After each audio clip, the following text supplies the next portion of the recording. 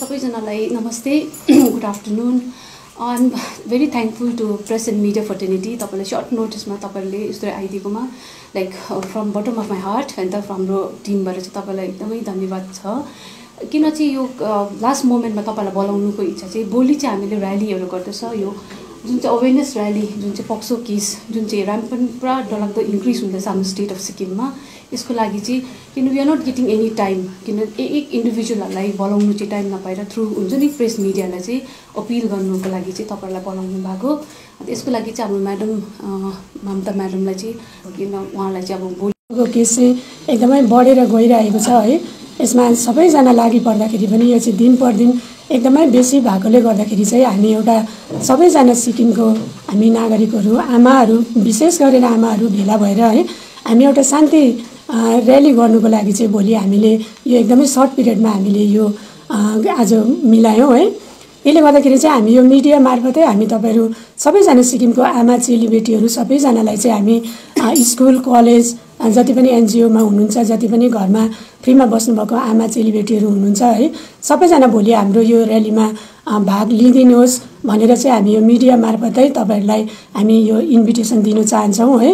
र हाम्रो सिक्किममा चाहिँ अब दिन पर दिन यो पोक्सोको केसहरू चाहिँ एकदमै बेसी बढेर गएकोले गर्दाखेरि चाहिँ अब यसमा सबैजना लागि पर्दाखेरि पनि यो अहिलेसम्म नियन्त्रणमा नआएकोले गर्दाखेरि चाहिँ हामी पनि इन्डिभिजुअली हामी पनि यो हेल्प गर्छौँ।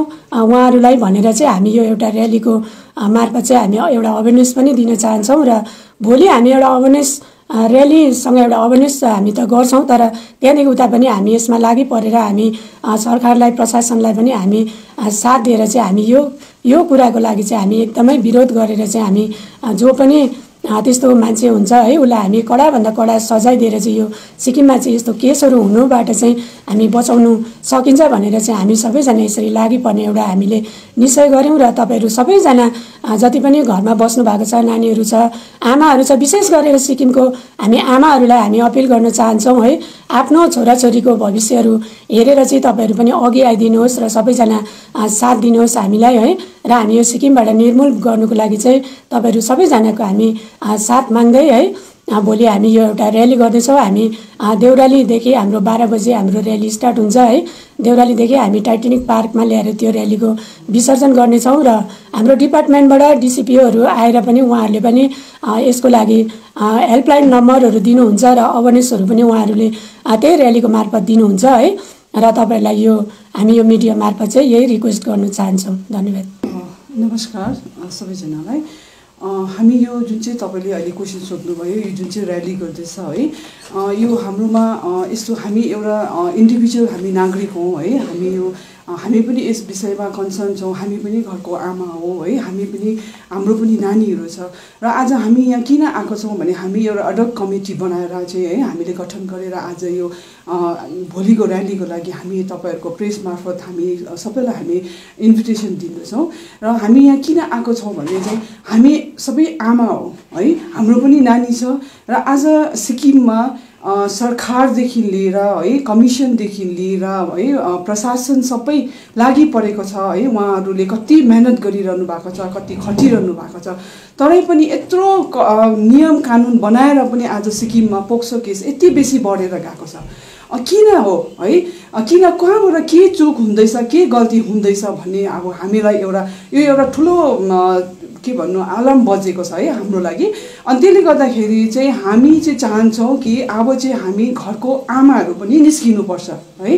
घरको आमाहरू इन्डिभिजुअली आमा जस्तै हाम्रो सिक्किममा यति बेसी एसएसजी दिदी बहिनीहरू हुनुहुन्छ सबै घरको है आमाहरू हुनुहुन्छ। उहाँहरू पनि अब निस्किनु पर्ने दिन आएको छ र हामी सबै आमाहरू निस्किएर चाहिँ अब चाहिँ घरको एक एकजना एक एकजना आमाहरू पनि यसको लागि चाहिँ सतर्क हुनुपर्छ र यो सबै कुरोको एवेरनेस उहाँहरूले पनि पाउनुपर्छ। र हामीले सतर्क भयौँ र हामीले नै यो कदम चालेनौँ भने चाहिँ भोलिको दिनमा हाम्रो नानी कोही पनि सेफ छैन है?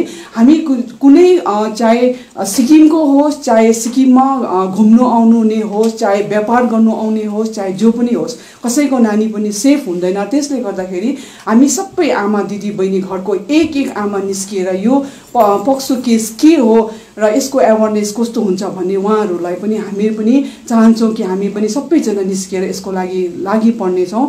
र यो गर्दाखेरि घरको एक एकजना आमा निस्किँदा भोलिको दिनमा चाहिँ कसैले पनि यो गलत काम गर्नुमा चाहिँ एकताल है सोचोस्। उहाँहरूलाई पनि एउटा मनमा डर होस् कि सिक्किमको आमा छोरी चेली सबैजना चाहिँ अब चाहिँ जागरुक भएको छ र हामी यस्तो गल्ती गर्नु हुँदैन यो गल्ती गऱ्यो भने चाहिँ हामी चाहिँ माफी पाउनेवाला छैन भन्ने चाहिँ उहाँहरूकोमा पनि डर होस् र हामी पनि चाहन्छौँ घरको हरेक आमाहरू प्रशासन है हामी सबै सरकार सिक्किम सरकारलाई हामी पनि सहयोग दिन चाहन्छौँ कि भोलि अबको नानीहरू चाहिँ हामी पनि हरेक गाउँ है गाउँ स्कुलदेखि लिएर हरेक जग्गामा यो नानीहरू सेफ होस् हाम्रो नानीहरू। र आउँदो दिनमा पनि आज यो एवेरनेस मात्रै होइन आउँदो दिनमा हामी यहीँबाट हामी एउटा कमिटी गठन गरेर हामी प्रशासनलाई है हामी कमिसनलाई हामी हेल्प गर्छौँ कि आउँदो दिनमा पनि यस्तो केसेसमा हामी हरेक गाउँमा पनि गएर उहाँहरूको सहयोग गर्नु हामी तयार छ भनेर हामी यही मेसेज दिन चाहन्छौँ र सबै हाम्रो घरको सिक्किमको आमा छोरी चेली स्टुडेन्ट दाजुभाइ जो पनि हुनुहुन्छ भोलिको एवेरनेसमा आइदिनुहोस् र सबै नानीहरूलाई पनि एउटा सेफ फिल होस् कि अब चाहिँ सिक्किमको नागरिक जागेछ जागरुक भएछ र हामी पनि अब चाहिँ सेफ हुनेछौँ भनेर चाहिँ उहाँहरूलाई फिल होस् भनेर तपाईँ सबैजना आइदिनुहोस् भनेर म निमन्त्रणा दिन चाहन्छु। धन्यवाद। दासी डुमा बुथिया huh